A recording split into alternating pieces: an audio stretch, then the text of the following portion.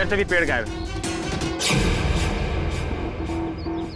जंगल में गैर गैरकानूनी कटाई कौन करता होगा? ये जंगल में कुटिया किसकी है? कौन रहता है यहाँ पे? पता नहीं साहब आपकी तरह मेरी भी नई नई पोस्टिंग हुई है। और लगता है यहाँ कोई आया नहीं होगा। चलो देखते हैं।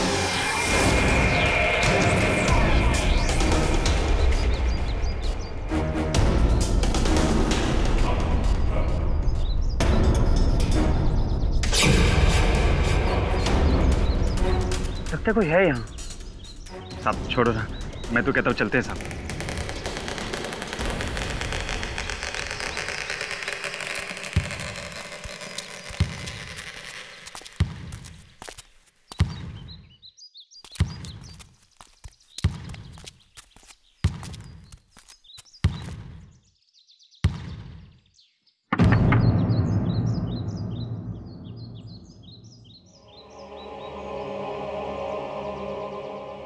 दरवाज़ा खोलो।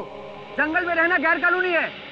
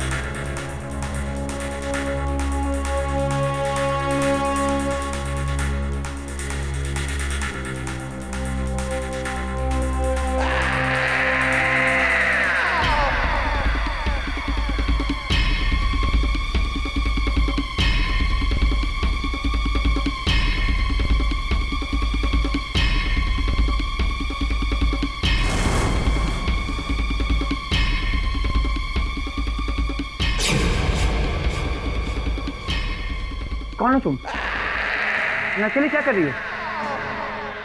कौन हो तुम? मम्मा।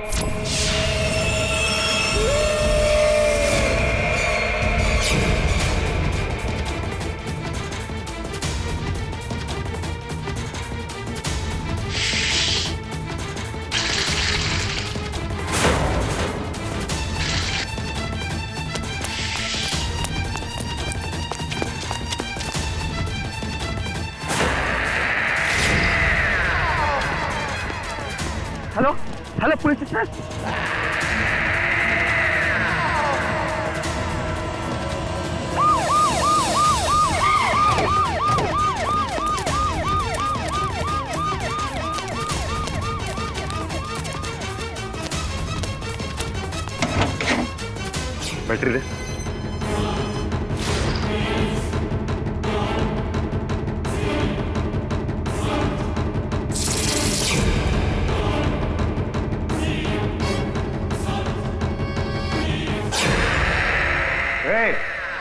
कौन हो तुम? हम्म? यहाँ सुनसान जंगल में क्या कर रही हो? उठो। क्या? कौन हो तुम? कुछ मत करना मेरी बहन को। दूर हो सर ये बच्चियाँ बहुत डरी हुई हैं। मुझे लगता है पहले यहाँ से इनको ले चलना चाहिए। हाँ। हाँ। करो।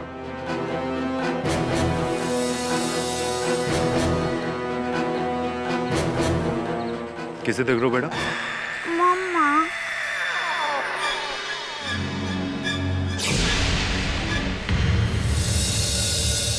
तीन दिन हो गए और अभी तक तुम दोनों ने अपना नाम तक नहीं बताया। ना ही ये बताया कि इतने सालों तक तुम जंगल में कैसे रह रही थी? अकेले? देखो मैं तुम्हारी मदद करना चाहती हूँ। तुम्हें तुम्हारे पेरेंट्स से मिलाना चाहती हूँ।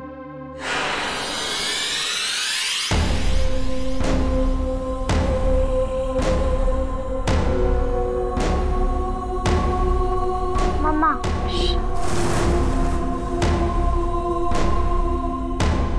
मम्मा? दोनों का नाम अनुराधा और आंचल पाटिल।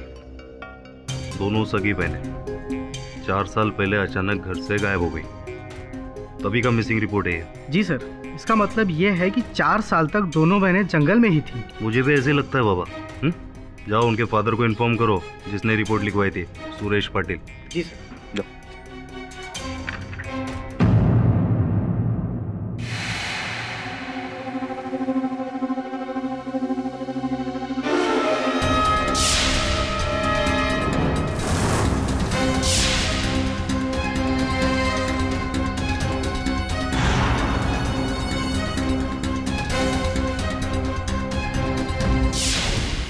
कर दिया उस बेवड़े के बच्चे ने। अरे, जब भी मैं फ़ोन करता हूँ ना तो फ़ोन नहीं उठाता है। मुझसे बचने के लिए उसने अपना घर बदल दिया। लेकिन आज आज मैं उससे मिलकर रहूँगा। पता चल गया मुझे, वो कहाँ मिलने वाला है। पूरा का पूरा हिसाब चुकता कर दूँगा।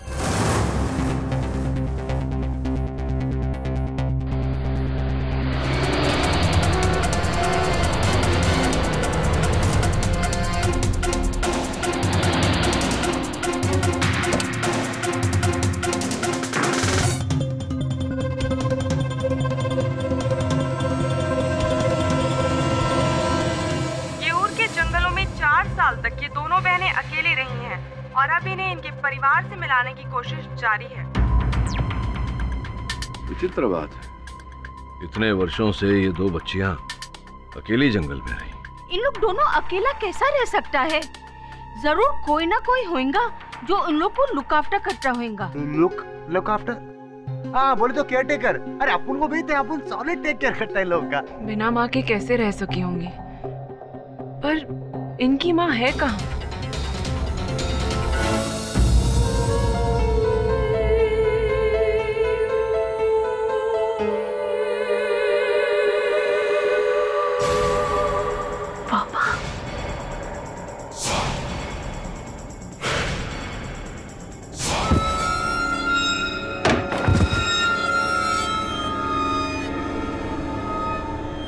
तो तुम दोनों बच के भाग गए थे ना मुझसे?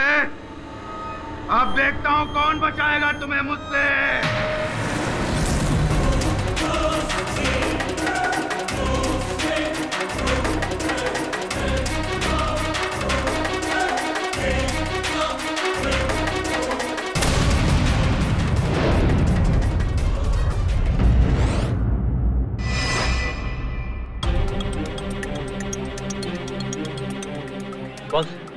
काउंसलर सरिता गुप्ता का घर यही है ना जो दोनों बच्चियाँ मिली है अनुराधा और अचल दोनों यही है ना? हाँ यही है लेकिन आप कौन? मैं उनका मामा हूँ सूरज पांचाल मिलने आया तो जाओ ना साहब बच्चे का बापी तो अंदर है। क्या? वो आ गया? मुझे जिस बात का डर था वही हुआ। आपको क्या हो गया हाँ? अपना बाप का क्या जाता है? अपना ड्यूटी करो चुपचाप चलो।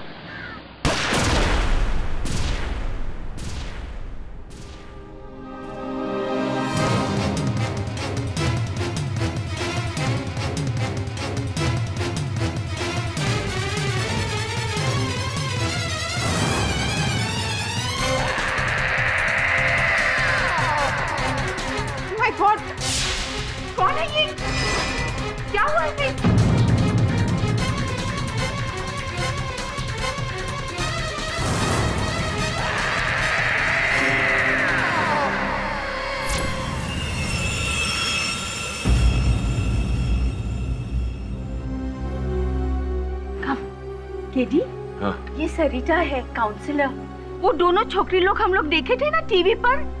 उनके बारे में बात करने को आई है। बैठिए सरिता जी। थैंक यू अनुराधा और आंचल वही दो लड़कियाँ जिन्हें पुलिस मेरे घर पर लाई थी काउंसलिंग के लिए मेरे ही घर पर ठहरी थी। जिन परिस्थितियों में वो दो बच्चियाँ मिली हैं बहुत ही दुख की बात है। उससे भी बड़ी घटना हुई है मिस्टर पाठक। इन बच्चियों का सौतेला बाप सुरेश पाटिल उनसे मिलने आया था। और उसका खून हो गया। जिसके कत्ल के इल्ज़ाम में पुलिस ने अनुराधा को गिरफ़्तार कर लिया है। मतलब जंगल से आते ही बाप का पत्ता साफ़। नहीं अनुराधा ने अपने पिता को नहीं मारा है। फिर किसने मारा? कहती है सुरेश का कत्ल उसकी माँ ने किया है। क्या उनकी माताजी उस समय उस घर में उपस्थित थी? नहीं ये मुमकिन नहीं है। क्यों? क्योंकि इन बच्चियों की माँ चार साल पहले मर चुकी है।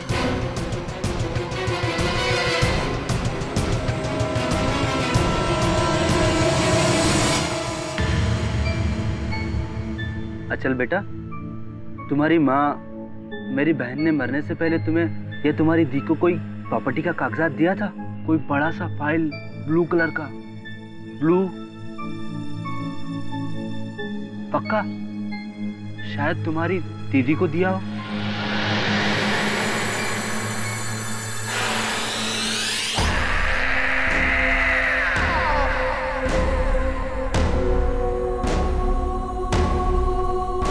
बेटा वहाँ क्या देख रही हो?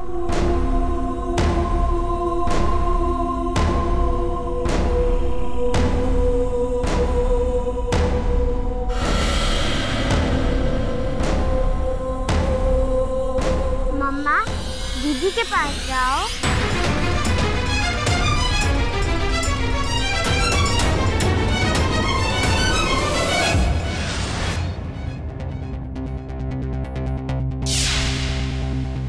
मुझे यहाँ बिल्कुल अच्छा नहीं लगता है। आंचल भी अकेली होगी। ये लोग मुझे यहाँ से जाने ही नहीं देते। कहते हैं मुझ पर केस चलेगा। मुझे कुछ होगा तो नहीं। मम्मा? अनुराधा।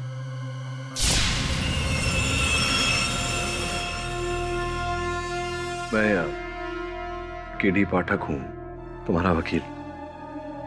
तुम किससे बात कर रही थी? अपनी मम्मा से। अनुराधा तुम्हारी माताजी को चार वर्ष हो गए। मेरी मम्मा मेरे साथ है मेरी बहन के साथ। वो हमें कुछ नहीं होने देगी। तुम्हारी माताजी तुम्हारे साथ है अर्थात तुम्हारे मन में है। आपके पीछे।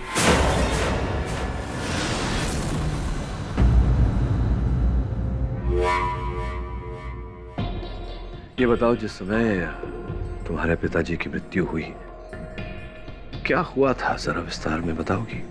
वो मुझे और आंचल को मारने आए थे लेकिन फिर से मेरी मम्मा ने मुझे बचा लिया। प्लीज़ पापा छोड़ दीजिए हमें। देखता हूँ आप तुम्हें कौन बचाएगा।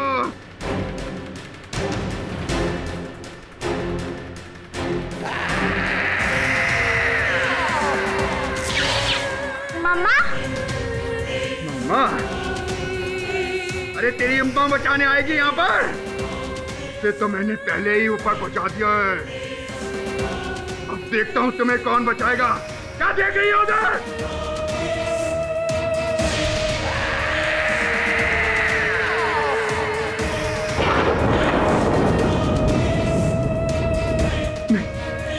नहीं हो सकता।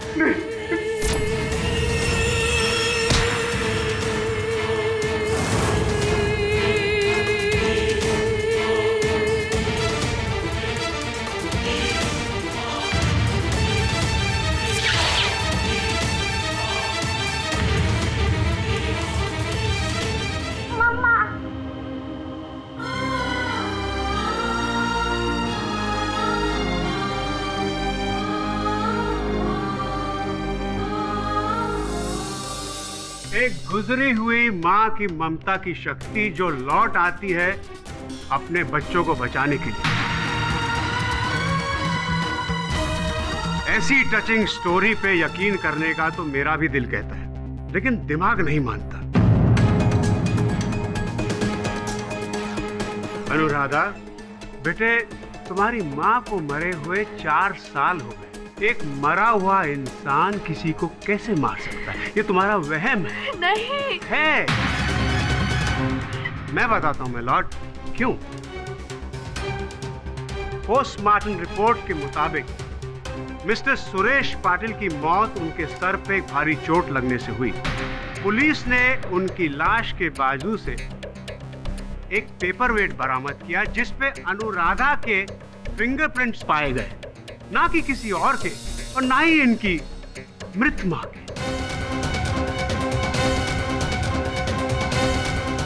अनुराधा, मैं ये नहीं कह रहा हूँ कि तुमने जान बूझ कर अपने पापा को मारा। तुम्हारे पापा हाथ में गन लेके तुम्हें मारने आए, और तुमने वही किया सेल्फ डिफेंस में जो कोई और करता। तुमने पेपर वेट उठाया और उनके नहीं, मैंने नहीं मारा। मम्मा ने पापा को पेपर वेट से मारा।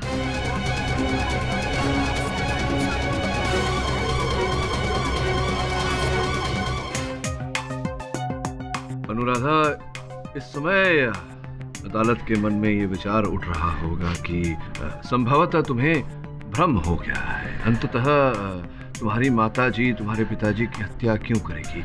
ये बताओ, क्या उस समय संभव है कि वहाँ कोई और था? नहीं, मेरे और आंचल के अलावा वहाँ कोई नहीं था। अगर मम्मा हमें नहीं बचाती तो वो आदमी हमें मार देता। मम्मा ने पापा से अपना बदला पूरा किया है। मम्मा? बदला? किस बात का बदला?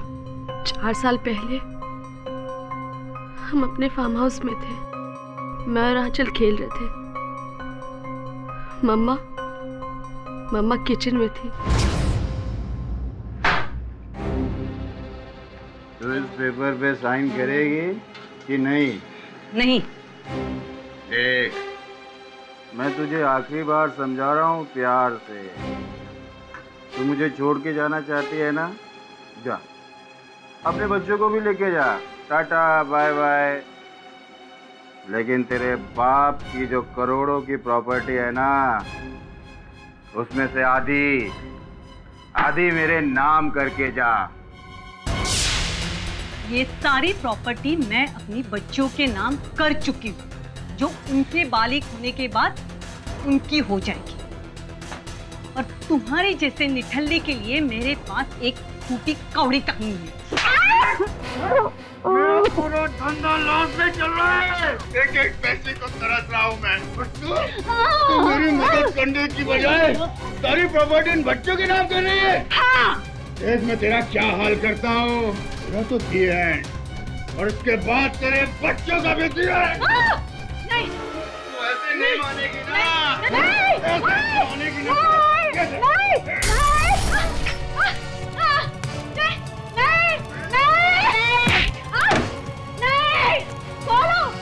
दरवाज़ा खोलो प्लीज़ दरवाज़ा खोलो। खोलो दरवाज़ा।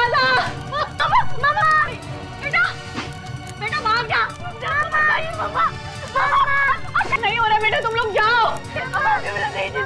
मेरी फ़िक्र मत करो बेटा भाग जाओ तुम लोग। वो तुम लोग को भी मार देगा। मैं तुम्हें कसम देती हूँ।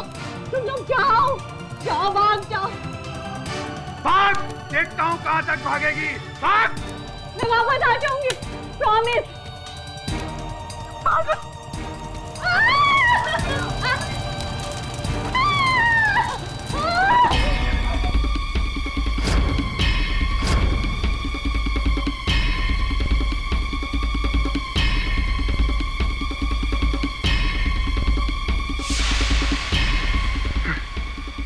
गए छोड़ूँगा नहीं।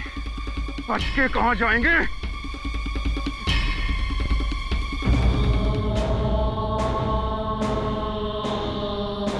हम झाड़ियों में बैठकर रोते रहे। लगा, अब मम्मा वापस नहीं आएगी। पर वो वापस आई।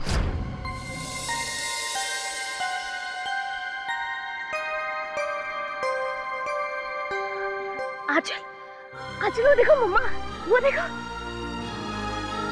मम्मा मम्मा मम्मा मम्मा मम्मा।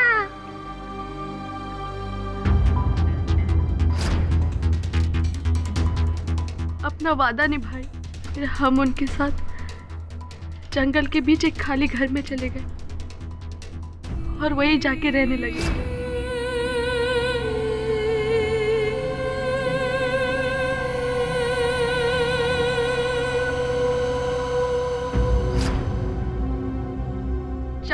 साल तक मम्मा उस घर में हमारा ख्याल रखे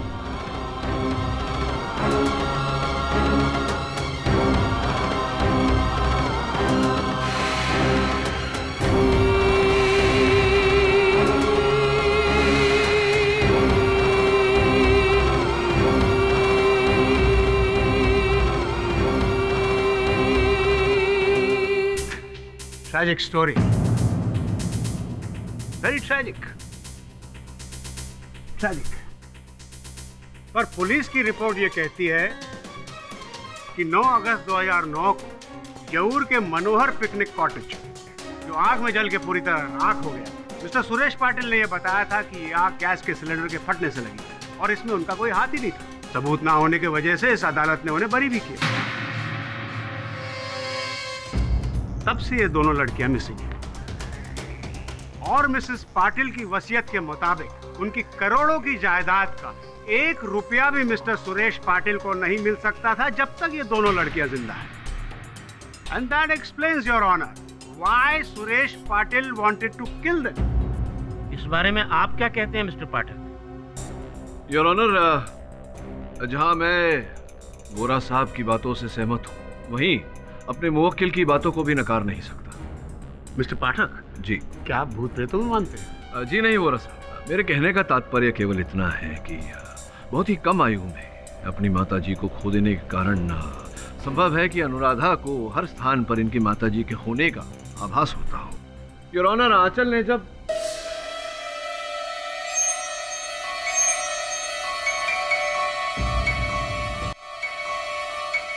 क्षमा चाहता हूँ मैं ये कह रहा था कि आंचल ने जब उस कठिन स्थिति में अपनी माँ से सहायता मांगी होगी तो संभव है कि अनुराधा को ऐसा लगा होगा कि इनकी माताजी ने वो वो पेपर वेट फेंका जिसके कारण इनके पिताजी की मृत्यु हुई। ये संभव है योर ऑनर कि अनुराधा का भ्रम मात्र हो और वास्तविकता में वो पेपर वेट किसी विपरीत किसी और ही व्यक्ति ने फेंका हो।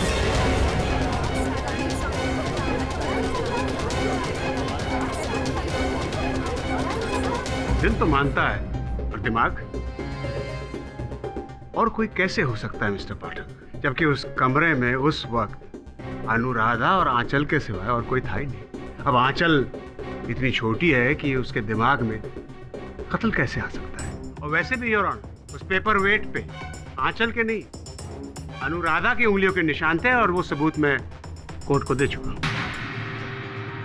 बोला, साहब, आप इतने वरिष्ठ वकील हैं, आपको इतना तो पता होगा कि केवल उंगलियों के छाप होने के आधार पर किसी को दोषी नहीं ठहराया जा सकता।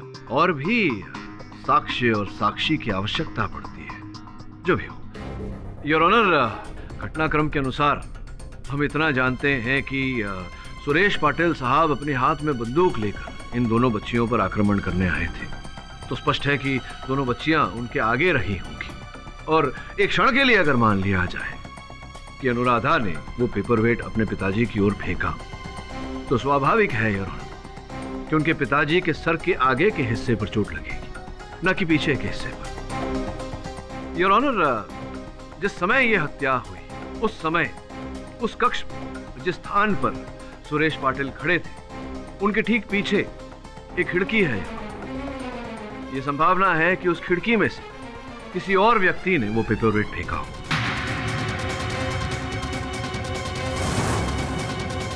योर ऑनर मिस्टर पाठक को यह पता होना चाहिए कि उस वक्त वो खिड़की बंद थी। और अगर कोई बाहर से वार करता तो उस खिड़की का शीशा टूटता। पर पुलिस को ऐसा कोई सबूत नहीं मिला। इसका यह मतलब हुआ कि वार अंदर से ही हुआ है और वो वार अनुराधा ने किया। मिस्टर पाठक जी। अनुराधा को कसूरवार ठहराने में मुझे कोई खुशी नहीं मिल रही। पर अनुराधा के अलावा कातिल कोई नहीं हो सकता। अनुराधा को बेकसूर करार दिलवाने में मुझे बड़ी खुशी होगी बोला साहब। और अपनी बात की पुष्टि करने के लिए ऑनर मैं इन दोनों बच्चियों के मामा जी उन्हें कटघरे में बुलाने की अनुमति चाहता हूँ। अनुमति है। योर ऑनर ये सूरज पंचाल साहब हैं इन दोनों बच्चियों के मामा जी आरती पाटिल जी के भाई। सूरज जी, हमारे जानकारी के अनुसार उस दिन आप अपनी भांजियों के साथ भेंट करने जब आप प्रवेश हुए, उसी समय एक गोली चलने की आवाज़ सुनाई दी थी। अनुमान लगा रहा हूँ मैं। कहीं ऐसा तो नहीं कि जैसे ही आप घर में घुसे, आपने सुरेश पाटिल जी को देखा हथियार ताने हुए अपनी बेटियों पर उन्हें बचाने के चक्कर में, उनकी सहायता करने के चक्कर में आपने पाटिल साहब पर आक्रमण कर दिया और इसी के चलते, हाथापाई के चलते वो गोली चल गई और जा कर के वहाँ फूलदान में लगी, जिसके पश्चात आपने फिर वो वो पेपर वेट उठाया और उनके सर पर दे मारा, जिसके कारण उनकी मृत्यु हुई और अनुराधा अपने मामा को बचाने के लिए अपनी मम्मा पे इल्ज़ाम लगा रही वाह। नहीं जज साहब। जब मैं बच्चियों से मिलने गया तब सुरेश की लाश नीचे पड़ी थी। नहीं ये एक एक मिनट एक मिनट। जरा दुविधा है मन में। आपसे समझना चाहता हूँ कि आपने घर के अंदर प्रवेश किया। जी। जिसके पश्चात गोली चलने की आवाज़ सुनाई दी थी। पर आपने जब प्रवेश किया अगर सुरेश पाटिल जी मृत हो चुके थे उनका देहांत हो चुका था तो गोली किसने चलाई? वो बंदूक उसके पास में थी। चोट लगने के बाद गिरते वक्त शायद उसकी उंगली से ट्रिगर दब गया होगा। और गोली फूलदान पे जा लगी जिससे वो टूट कर गिर गया। प्रश्न तो ये है कि वो चोट उन्हें लगी कैसे? पेपर वेट किसने फेंकी? तो आपने फेंकी थी पेपर वेट? नहीं सर। लेकिन मैं अपनी मरी हुई बहन की सोगन खाकर बोलता हूँ। अगर वो जल्लाद सुरेश मेरे हाथ लग जाता ना तो मैं उसे छोड़ता नहीं। उसने जो मेरी बहन के साथ किया उसके लिए मैं उसका गला दबा दूँ।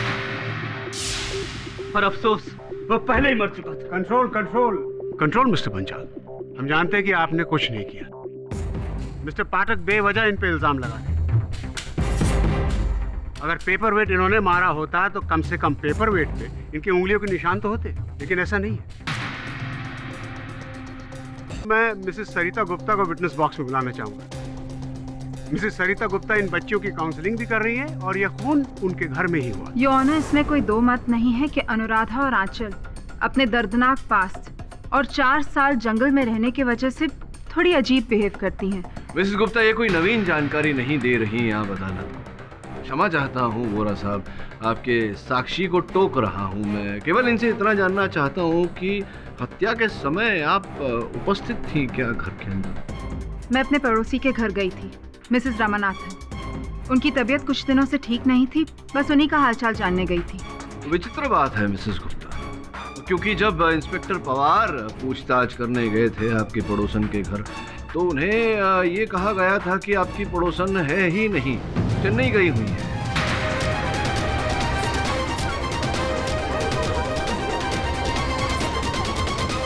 ये आप कैसी बातें कर रहे हैं मिस्टर पाठक?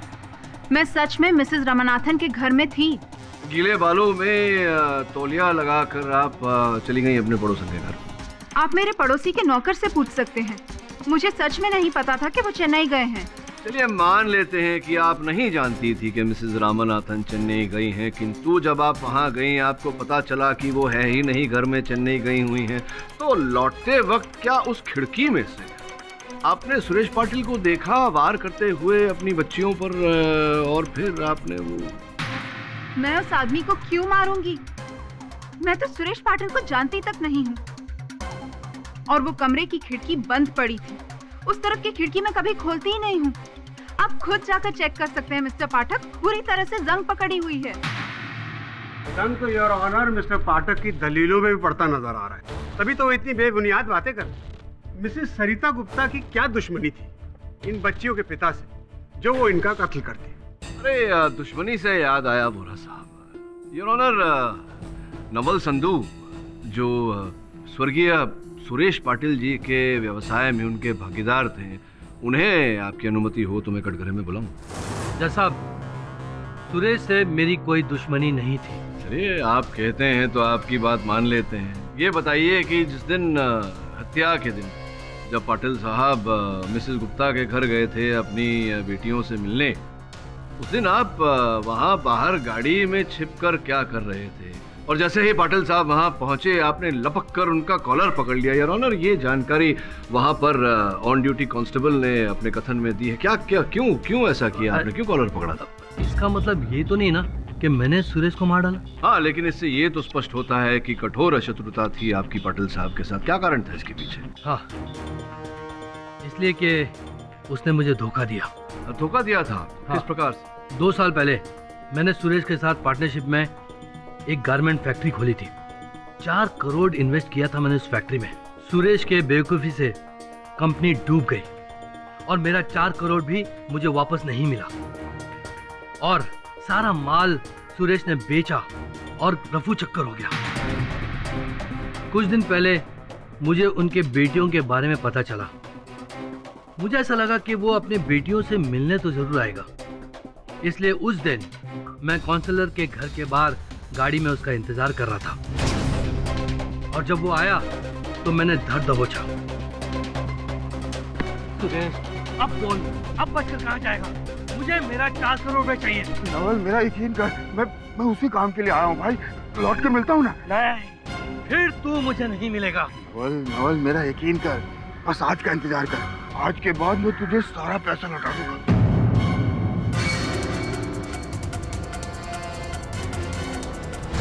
लेकिन मैं समझ गया था कि उसकी नीयत खोटी है। लेकिन फिर भी मैं उसका इंतज़ार करने लगा। लेकिन वो बाहर नहीं आया। आई तो उसकी लाश। आप सही कह रहे हैं मिस्टर सही कह रहे हैं। बाहर सड़क पे खड़े होके आप अंदर सुरेश पाटिल का कत्ल नहीं कर सकते। तो गोरा साहब ये संभावना तो है कि ये दीवार को फांद कर अंदर गए हों। ये देखने के लिए कि पाटिल साहब अंततः बंदूक लेकर घर में क्यों गए उस वक्त उस घर में अनुराधा और आंचल के सिवा और कोई नहीं था। अच्छा तो वोरा साहब ये बताइए कि अगर ऐसा है तो फिर ये अंगूठी जो इंस्पेक्टर साहब को वहाँ से प्राप्त हुई ये अंगूठी किसकी है वहाँ कैसी आई? आपकी है ये अंगूठी? आ, नहीं ये मेरी नहीं है। हीरे की अंगूठी आपकी नहीं है? किसकी हो सकती ये अंगूठी तो सुरेश पाटिल की भी रही। ये अंगूठी मामा की है।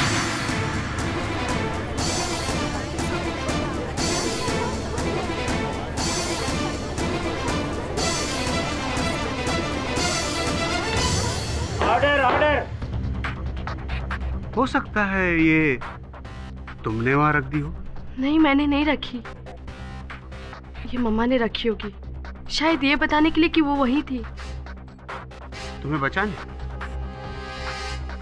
दिल तो मेरा भी कहता है कि ऐसा होना चाहिए था पर बोला साहब जरा अपने अपनी बुद्धि को कष्ट दीजिए। देखिए अगर ये बच्ची बार बार कह रही है कि इसने अपने माता जी को वहाँ देखा तो क्या यह संभव नहीं कि वास्तविकता में इनकी माता जी वहाँ पर हो? संभावना तो है। यू मीन मिस्टर पाठक उनकी माँ का भूत वहाँ मौजूद था?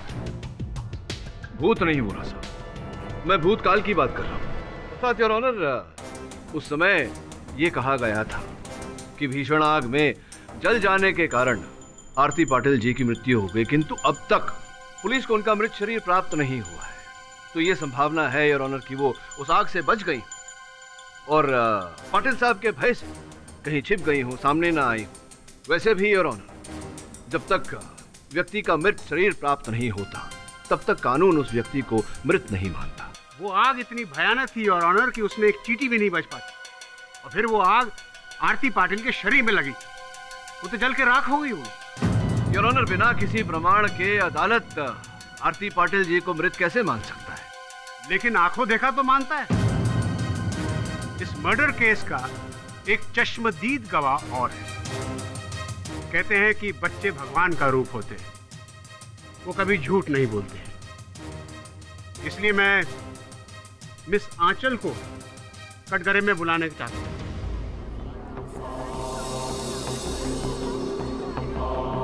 योर ऑनर इतनी छोटी सी बच्ची को योर ऑनर इजाज़त। थैंक यू योर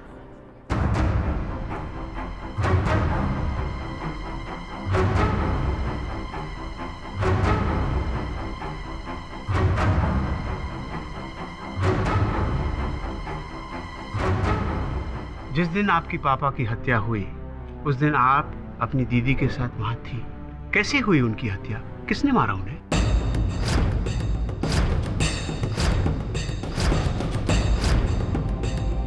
मम्मा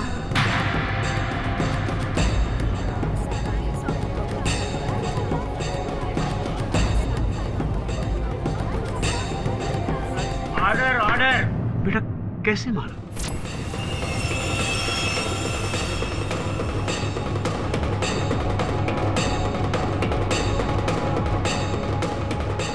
यानी उस दिन, उस वक्त तुम्हारी मम्मा तुम्हारे साथ कमरे में थी।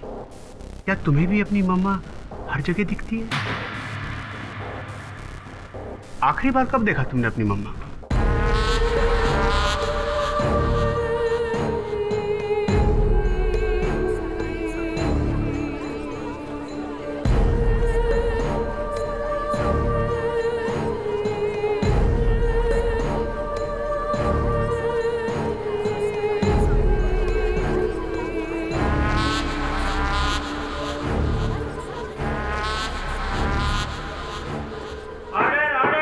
लेकिन बेटा वहाँ तो कोई भी नहीं मम्मा है। हाय मम्मा। रहने दो आंचल। ये लोग मामा को नहीं देख सकते। सिर्फ़ तुम और मैं देख सकते। योर ऑनर जब तक हमें ये पता नहीं चल जाता कि मिसेस आरती पाटिल जीवित है या मृत मेरा ऐसा मानना है कि इस केस में आगे बढ़ना उचित नहीं रहेगा। हम कोई निष्कर्ष तक नहीं पहुँच पाएँगे योर ऑनर इसी कारण विपक्ष अदालत के सामने समय की मांग करता है। परमिशन ग्रांटेड ये अदालत दो दिन के लिए मुलतवी की जाती है।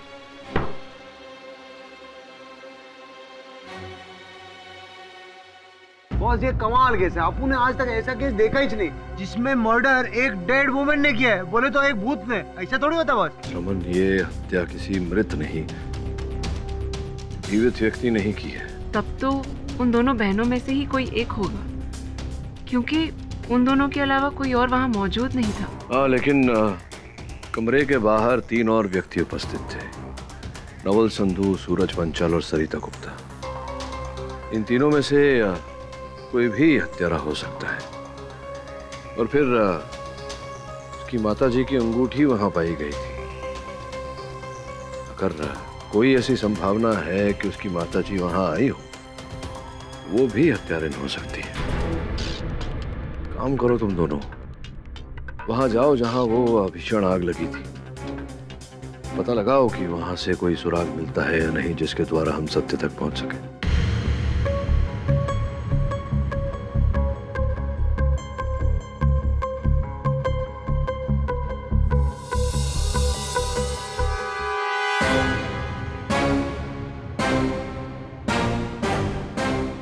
देखिए भाभी जी मैं आपको रुलाने के लिए यहाँ नहीं आया हूँ। मैं खुद रो रहा हूँ। आप तो जानती है ना कि कितना बड़ा नुकसान करवाया सुरेश ने। देखिए अब वो इस दुनिया में नहीं है। मैंने तो सुना है कि उसके बच्ची के नाम पर काफ़ी प्रॉपर्टीज़ हैं जो देखिए इस बारे में मुझे कुछ नहीं पता है। और वैसे भी अभी मैं बहुत डिस्टर्ब आप प्लीज़ आप प्लीज़ जाइए यहाँ। से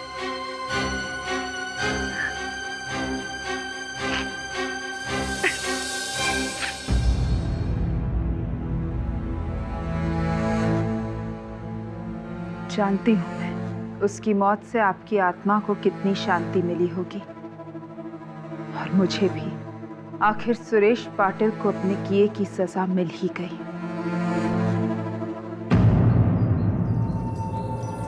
ये घर तो सॉलिड चले रहा है। वकील अपन बोल रहा है अंदर लाश तो क्या? अंदर किसी का रूह भी नहीं मिलेगा। रूह भी नहीं मिलेगा। Just shut up and behave yourself.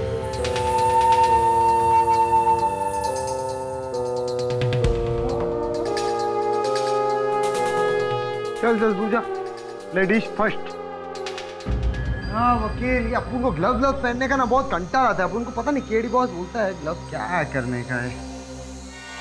वकील। बच गई तू हैं? क्या क्या बोली तू? क्या बोली? थैंक यू बोलने लिए। थैंक यू ये बिहेवियर है तेरा। अरे अपन ने तेरे को हीरो माफ़ी कैसा बचा काम करें। टॉर्च भी लाना आज पड़ेगा इधर क्या रे वकील है? खंडर है खंडर।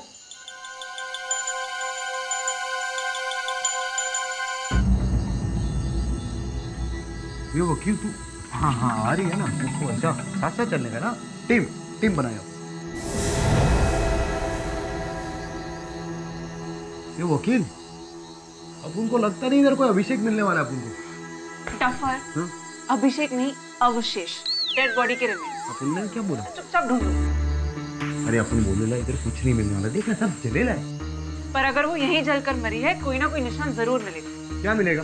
अपन तेरे को बोला ना पुलिस चेक करके इधर। क्या हो गया क्या हो गया? अरे पतंगा था मौत से डरने का नहीं समझी ना।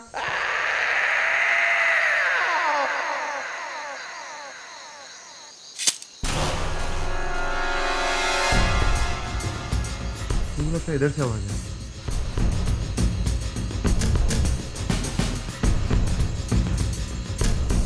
ये वकील ये देख चाबी। इधर होगा ये इसका इसका चाबी रहेगा क्या?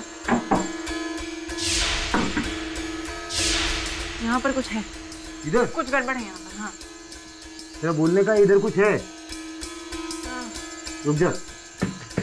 तू सच बोल रही है? हटा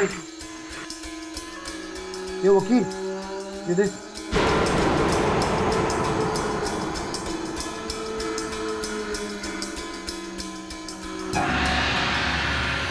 ये वकील, ये देख तो गुफा है सॉलिड क्या गुफा उफा बना लिया उनको इधर मरे हुए चूहे और सड़े हुए सांवर की बास आ रही है। ए छोकरी तू आगे नहीं है क्या? क्या इधर कुछ है ही नहीं?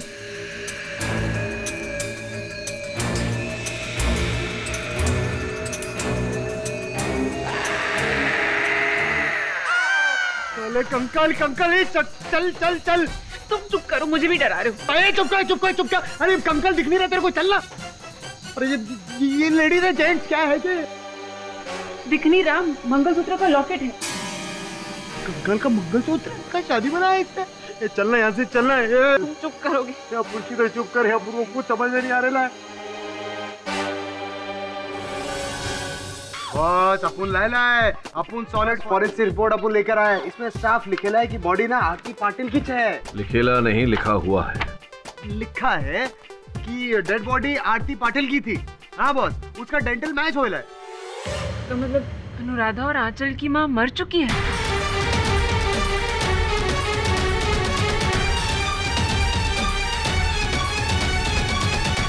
अगर ये बात सत्य है तो फिर उन बहनों को अपनी माँ कैसे दिख सकती है?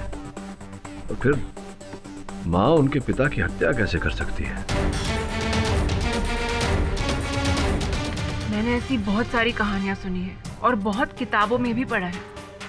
जब किसी औरत की सडन डेथ हो जाती है और उसके अगर छोटे छोटे बच्चे होते हैं, जिनकी देखभाल करने के लिए कोई ना हो और उनकी जान को भी खतरा हो तो माँ की आत्मा वापस अपने बच्चों के पास आ जाती है उनकी रक्षा करने के लिए।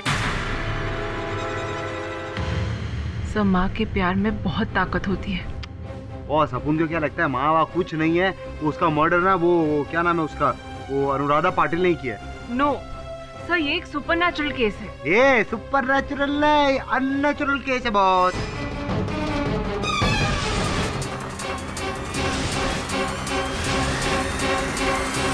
Mama. For more updates, subscribe to our channel, click the show links and enjoy watching the videos.